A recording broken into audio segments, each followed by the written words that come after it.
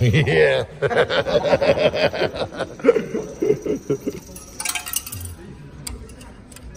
I've just turned the one euro into the Nürburgring.